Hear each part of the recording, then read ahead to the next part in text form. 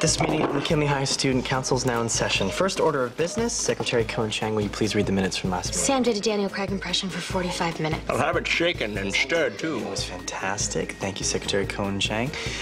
Treasurer Motta, uh, if we could go through the budget appropriations we were talking about last. Yes, Tina?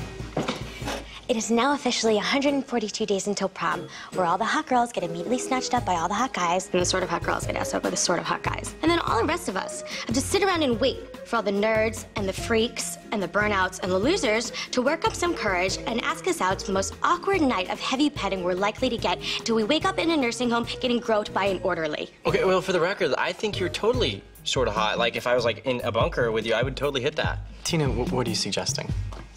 I propose the first annual McKinley High Sadie Hawkins dance. It's what you call a dance where the girls ask the guys. I'm not so sure that's a good idea. Why not? It was the topic of discussion at the last meeting of the Too Young to Be Bitter Club.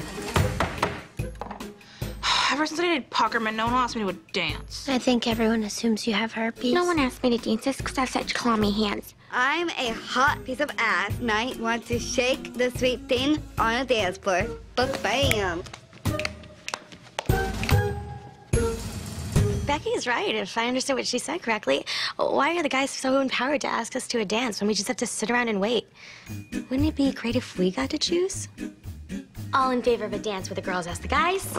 W- wait, wait, wait a second. Hold on. It's just one- official. Get ready for the first annual McKinley High Sadie Hawkins dance.